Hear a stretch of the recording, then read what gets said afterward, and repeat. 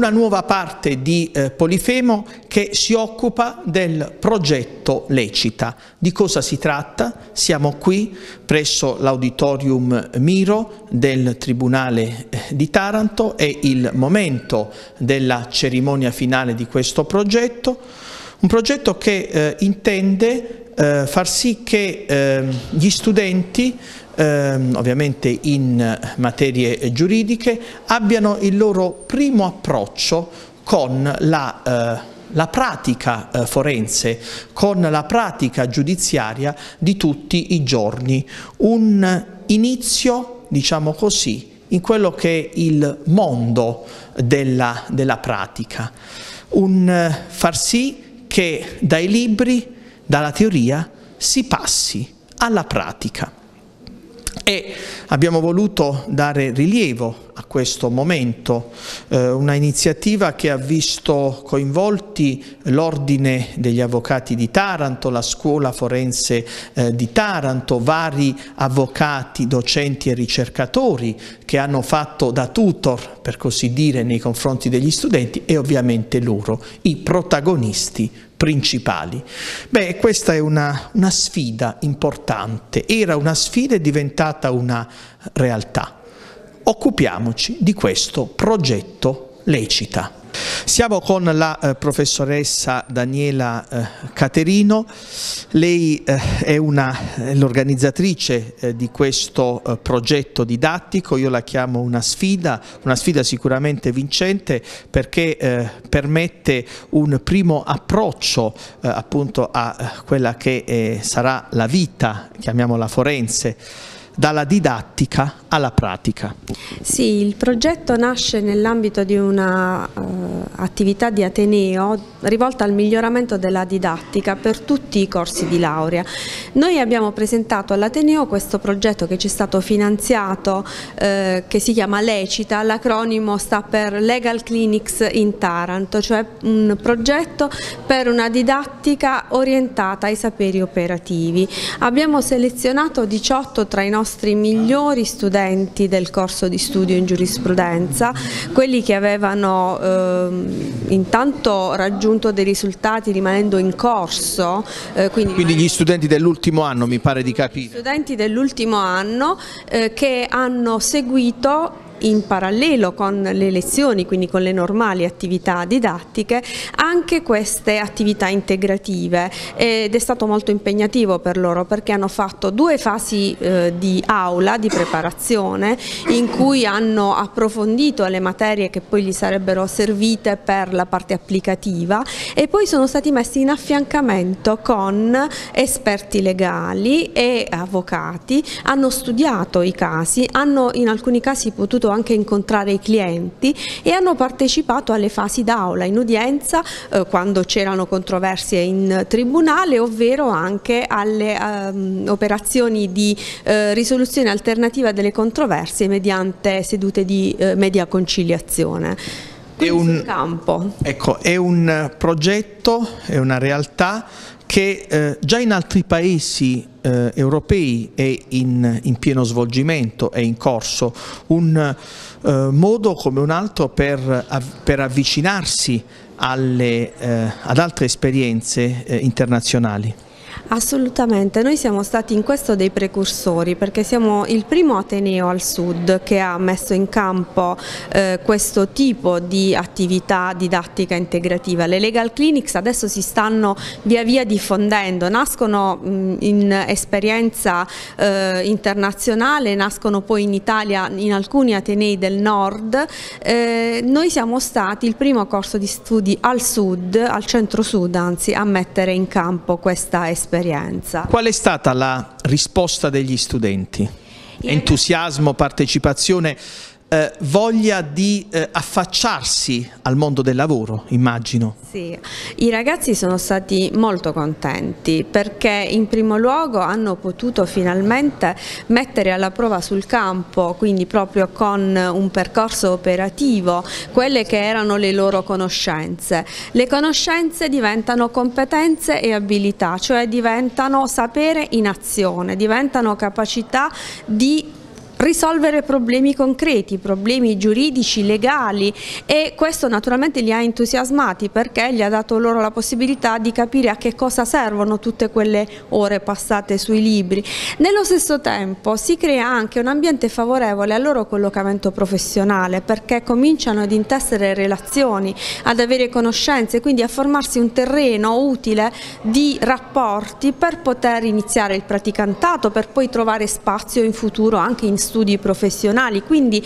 è da un lato un rafforzamento delle loro competenze, ma dall'altro lato è un'attività che sfocia nel placement, quindi serve anche al loro collocamento professionale, quindi loro sono stati molto contenti. È un po' come in altri ambiti nel settore medico, già i laureandi che iniziano a fare loro, la loro pratica, chiamiamola così, nelle corsie di ospedale. Allora perché sì per i medici e no per eh, il mondo giudiziario? Esatto, lo spirito è proprio quello. Come nell'ultimo anno di medicina si seguono le materie le cliniche nelle varie specialità, anche per aver modo di comprendere qual è eh, la propria propensione, quali sono gli ambiti nei quali si vuole poi esercitare la professione, così allo stesso modo questi nostri ragazzi hanno potuto confrontarsi con l'attività operativa sul campo in vari ambiti, dal diritto commerciale di cui mi occupo io, ma anche il diritto ehm, familiare, il diritto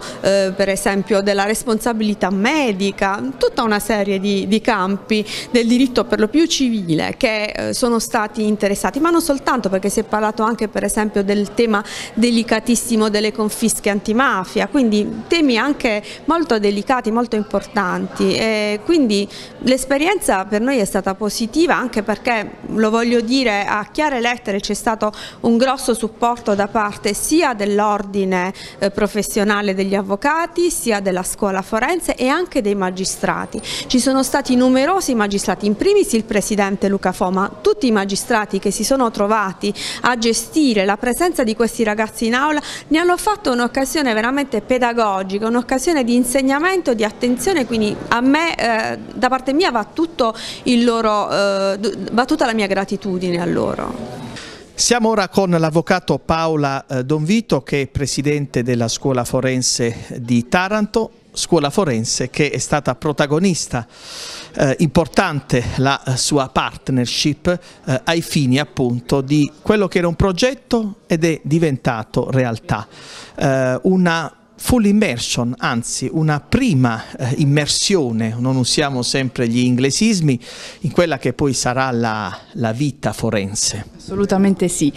La scuola forense ha accolto di buon grado questa collaborazione con l'università, convinti appunto che eh, la eh, pratica debba seguire appunto oltre al, agli insegnamenti universitari è necessario per chi si accinge poi al svolgimento delle professioni forensi capire in pratica come funziona, la, ehm, come si svolge la professione di avvocato. Noi come scuola siamo stati ben lieti di collaborare con l'università e non è questa la prima collaborazione, ma è eh, da tempo oh, addietro che con l'università si collabora. E, è stato per noi eh, molto importante poter eh, collaborare e soprattutto insegnare ai ragazzi il, come si svolge l'attività di avvocato. Allora ci sono stati, io personalmente che mi occupo di diritto di famiglia, ho tenuto delle lezioni non solo di carattere frontale, ma eh, abbiamo poi redatto insieme ai ragazzi proprio degli atti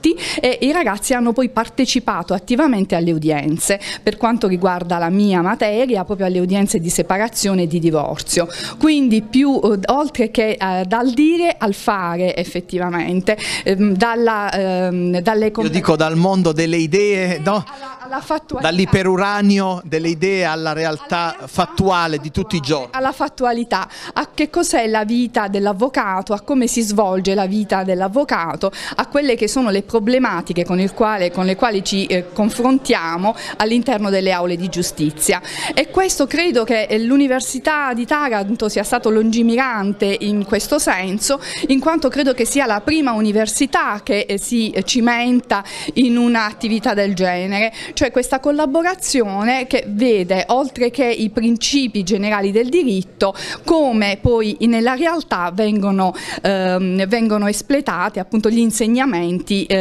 impartiti all'interno delle aule eh, universitarie. Come dire, un antipasto, un preambolo della pratica forense? Assolutamente sì, ah, proprio diciamo un, sì, eh, un, iniziare a comprendere come si svolge l'attività dell'avvocato per essere poi agevolati anche nelle scelte, no? per vedere le proprie inclinazioni, quali saranno le, le, scelte future di un giovane dottore in giurisprudenza. È stata un'esperienza assolutamente positiva, noi come scuola appunto siamo proiettati per quel, per, eh, nei confronti dei giovani avvocati avvocati e di coloro che si affacciano alla professione forense, una professione che eh, richiede una serie di eh, competenze oltre a quelle strettamente giuridiche. Noi come, eh, come formazione puntiamo anche molto su quella che è l'etica e la deontologia dell'avvocato, è appena iniziato il nostro corso di formazione per i giovani avvocati, si è inaugurato il 29 gennaio e abbiamo iniziato proprio con una parte eh, dedicata alla deontologia dell'avvocato, convinti convinti che una, la preparazione, oltre che sulle materie ehm, dovranno, ehm, nelle quali si dovrà difendere, è necessario che un buon avvocato parta da quella che è la deontologia e l'etica professionale. Eccoci con l'avvocato Vincenzo Di Maggio, presidente dell'Ordine Forense di Taranto. E allora, Presidente, una eh, esperienza per proprio l'inizio della formazione delle, delle, nuove leve, prima ancora della pratica del tirocinio volgarmente detto? Sì, prima di essere ecco, affidati alle nostre mani abbiamo pensato bene tenga presente che io sono anche docente presso da ormai dieci anni presso il nostro Dipartimento Ionico dell'Università dell degli Studi di Bari Aldo Moro. Abbiamo pensato bene di cercare di instradare i ragazzi verso un percorso e uno strumento, un percorso studiato per coloro i quali vogliono eh, avvicinarsi a questo mondo. La nostra scuola forense è leader soprattutto eh, perché è partita da lontano leader nella formazione a livello nazionale. Noi siamo stati tra i primi a pensare a un percorso strutturato eh, che tesorizzasse gli antichi saperi in uno con quello che è, è, stato veramente uno spoglio clandestino da parte del mondo, del mondo anglosassone che in realtà eh, parte dal problem solving e giunge a costruire un discorso organizzandolo e pianificandolo ehm, utilizzando quello che è il nostro patrimonio genetico, la retorica classica, che qui retorica è quasi un'offesa in realtà non significa pleonastico, ma significa essere sintatticamente corretti nell'articolare una proposta e un'asserzione. E quindi comunicazione forense dalla Berkeley University in poi e porsi quindi al, al, all'interno di un sistema che poi ti porta nelle libere professioni in modo strutturato capace di, da giurista di risolvere un problema giuridico e di portarlo in modo efficace sul banco del giudice. E questo è stato il percorso che abbiamo condiviso con, eh, con l'università, che abbiamo condiviso come ordine e con... Uh, una donna eccezionale quale Daniela Caterino. Un'azione un sinergica di vari soggetti, di varie realtà convergenti ad un obiettivo, una eh, formazione come dire già in fieri, già nel, ai primi vagiti potremmo dire di coloro i quali si avvicineranno alla professione forense. Si guarda mai più a proposito perché stanno per eh, essere eh, adottati, per essere adottato il regolamento che sancirà l'obbligatorietà della scuola forense per diventare avvocati. Noi abbiamo iniziato, abbiamo coltivato, ecco guardate questo qui è le dispense per gli studenti che tesorizzano un QR code eh, e quindi è double fast, da una parte c'è l'ordine degli avvocati, dall'altra parte la, la, facoltà di giurisprudenza, tenga presente che io insegno informatica giudiziaria e forense, quindi questo secondo me sarà il libro del futuro.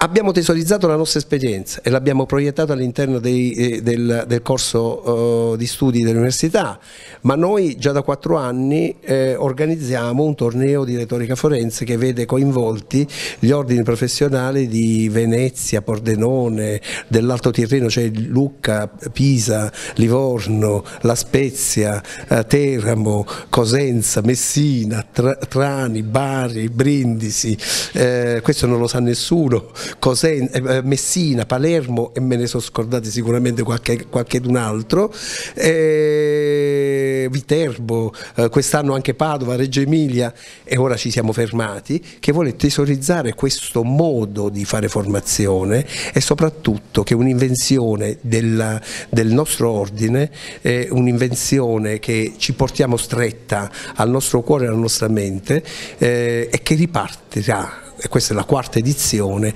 sempre da Taranto. Dopo aver ascoltato i docenti di questo progetto Lecita, beh, non potevamo non confrontarci con loro, con gli studenti che sono i destinatari, lo scopo di questo eh, progetto Lecita e abbiamo qui la eh, dottoressa Antonella Castaldo. Beh, intanto le sue impressioni eh, come ha vissuto questo approccio all'attività eh, forense, dal mondo dei libri, dei codici, della dottrina, delle teorie alla realtà pratica di tutti i giorni. Com'è stato questa, questo approccio? Allora, il progetto Lecita, come avrà già saputo, è nato dall'idea della professoressa Caterino, che è anche la coordinatrice del progetto stesso, la quale in questi mesi si è avvalsa della collaborazione di altri docenti, esperti del settore, avvocati e professionisti a vario titolo che eh, ci hanno seguito nel corso di questi mesi sia dal punto di vista teorico, quindi mh, ci hanno seguito dal punto di vista delle competenze essenziali che ci servivano per affrontare poi le fasi successive del progetto. Progetto che si è articolato in una prima fase che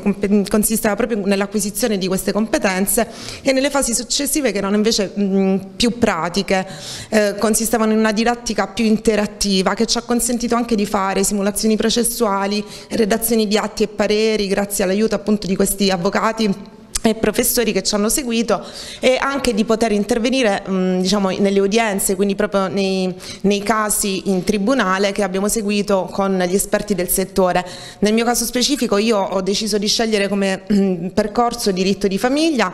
che eh, il mio tutor rassegnato era l'avvocato Don Vito la quale peraltro devo ringraziare per la disponibilità che ci ha eh, dato nel seguirci anche in questo percorso e anche per le competenze proprio che ci ha eh, fornito nel comprendere al meglio alcuni istituti che diciamo ecco, è, questo penso che sia proprio un limite dell'università italiana, quello di eh, limitare diciamo, lo studio alla, alla sola parte teorica. E invece credo che proprio sia fondamentale avviare progetti quali appunto Lecita che consentono una didattica attiva e piena che ci mette proprio nel vivo di quelle che sono le realtà che poi andremo un giorno a seguire perché ovviamente progetti come questo servono anche per quelli che poi saranno i nostri sbocchi professionali, eh, riuscire a seguire delle udienze prima che diciamo, prima di aver terminato il nostro corso di studi perché noi tutti abbiamo seguito questo progetto ed eravamo tutti studenti dell'ultimo anno. Ovviamente riuscire a farlo prima di essere laureati ci consente di avere una visione più eh, vicina a quelli che poi saranno gli aspetti che andremo ad affrontare diciamo, successivamente una volta laureati. L'avvocato Nestore Thierry, uno dei docenti eh, di eh, questo eh, progetto, ehm, nella veste di docente si è occupato del tema della mediazione. Ecco, parliamo del, dell'approccio con gli studenti e soprattutto dell'approccio degli studenti alla, alla immissione così nella pratica forense. Sì, è stata una bellissima esperienza innanzitutto per me come docente perché ho avuto modo di confrontarmi con dei ragazzi che frequentano l'università e quindi con una platea diversa perché in genere sono abituato a confrontarmi con professionisti, quindi con avvocati e professionisti in genere. È stata un'esperienza bellissima perché i ragazzi erano preparatissimi e molto vogliosi di cimentarsi in questa nuova iniziativa che ha avuto sia un, una veste diciamo, scientifica perché eh, si sono addentrati nel tema della mediazione, in particolare nella negoziazione e quindi nella gestione dei conflitti. E poi da un punto di vista pratico perché hanno visto come funziona diciamo, il procedimento di mediazione o comunque come funziona quella che è adesso la eh, tendenza voluta dal legislatore di cercare di risolvere le controversie in via stragiudiziale piuttosto che col processo. In questo modo si eh, supera per così dire la eh, l'aridità, mi passi l'espressione, della dottrina, dei codici, delle norme, perché poi questa impalcatura, questo scheletro, questa ossatura eh, come dire, vive nella realtà, si compenetra nel tessuto quotidiano. Non si supera quella che è l'importanza e la certezza del diritto, si completa che quello che è l'approccio che un professionista dovrebbe avere di fronte al problema. Quindi di fronte al problema io devo dare una soluzione. La soluzione può essere il processo e quindi la soluzione contenziosa e può essere anche la via stragiudiziale e quindi la via dell'accordo. Quindi io penso che i ragazzi eh, apprendendo questo, questo approccio diverso abbiano completato quella che è la loro formazione universitaria sulle rigide basi del diritto. Eccoci con un altro studente, Gianluca Mastromarino. Di cosa si è occupato lei in questo approccio con con il mondo della pratica forense? Beh, è stato un approccio entusiasmante, l'opportunità concessa dall'Università degli Studi di Bari, dal Dipartimento Ionico e con la collaborazione dell'Ordine degli Avvocati e della Scuola Forense ha permesso di creare un'occasione, un momento di studio e di incontro per gli studenti eh, del Dipartimento Ionico per cimentarsi nello studio di casi pratici eh, giuridici in differenti materie. Personalmente ho curato, ho affrontato il tema inerente alla transazione fiscale e la crisi d'impresa, una tematica eh, fortemente presente e di grande attualità legata alle procedure inerenti alla eh, crisi e momenti di grave difficoltà eh, economica affrontata dalle imprese del territorio.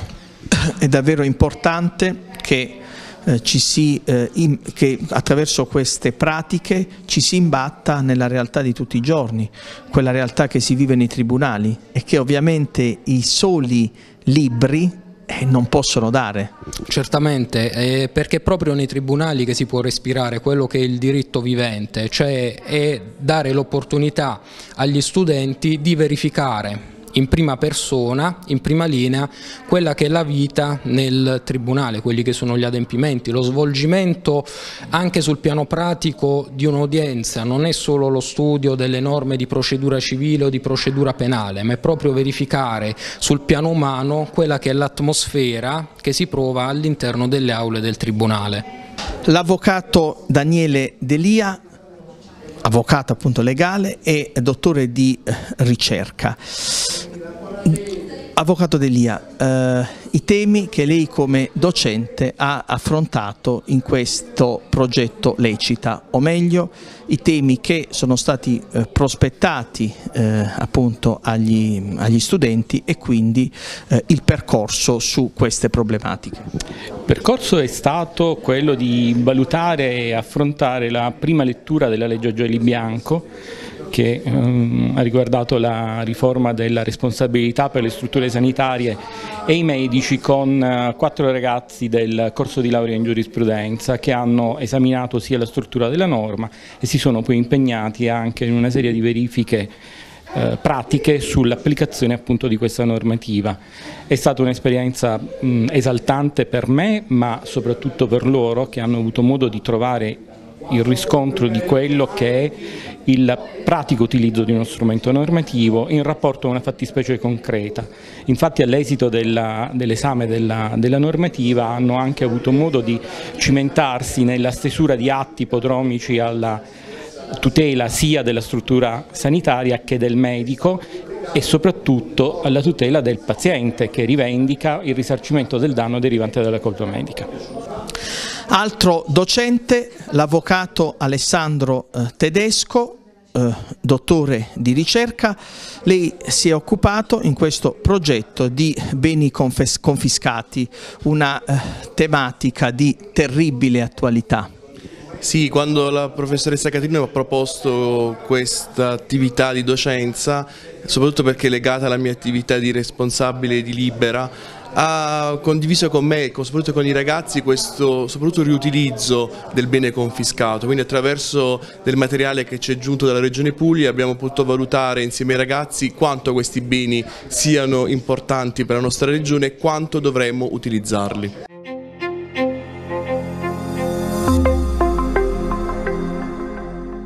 Eh, ce ne andiamo in pubblicità